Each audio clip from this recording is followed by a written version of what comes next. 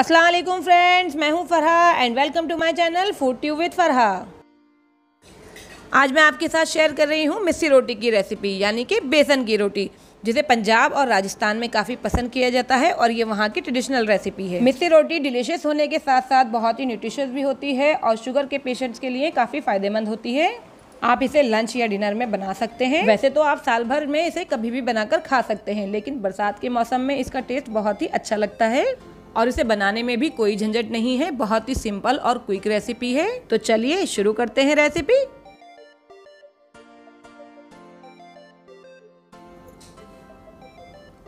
डेढ़ कप गेहूँ का आटा और डेढ़ कप बेसन, दोनों इक्वल क्वांटिटी में ले लें आप। नमक अपने टेस्ट के अकॉर्डिंग ऐड कर दें। एक छोटी साइज़ की प्याज बारीक कटी हुई, दो हरी मिर्च बारीक कटी हुई ऐड कर देंगे। एक चम्मच हल्दी पाउडर ऐड करेंगे। एक चम्मच लाल मिर्च पाउडर ऐड करेंगे। एक चम्मच कसूरी मेथी ऐड करेंगे। एक छोटा चम्मच अजवाइन ऐड करेंगे। दो बड़े चम्मच ऑयल ऐड किया है। इससे रोटियाँ काफ़ी सॉफ्ट बनेंगी। अब सारी चीज़ों को अच्छी तरह से मिक्स कर लेंगे। अब इसमें गुनगुना पानी डालेंगे और आटा गूंद लेंगे। जिस तरह से नॉर्मल रोटियों का आटा गूंदते हैं, उसी तरह से आटा गूंद लेना है। थोड़ा थोड़ा करके पानी ऐड करें और गुनगुना पानी यूज़ करें। आटा हमें बहुत ज़्यादा सॉफ्ट भी नहीं करना है और बहुत ज़्यादा टाइट भी नहीं रखना है। इस तरह से डो रेडी कर लेंगे।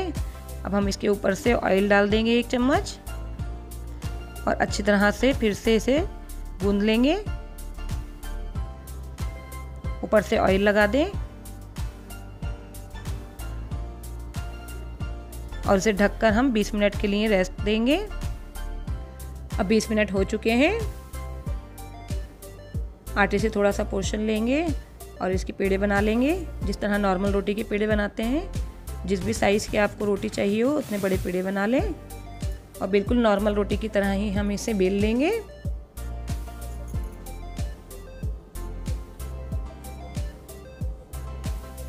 रोटी बिल चुकी है।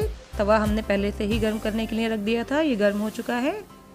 इस पर रोटी डाल देंगे हम। और कुछ सेकंड्स के बाद हम इसकी साइड चेंज कर देंगे। और उसके बाद इस तरह से दबाते हुए अच्छी तरह सेक लेंगे। आप चाहें अगर तो तवा हटाकर डायरेक्ट फ्लेम पर भी सेक सकते हैं, चिमटे की हेल्प से।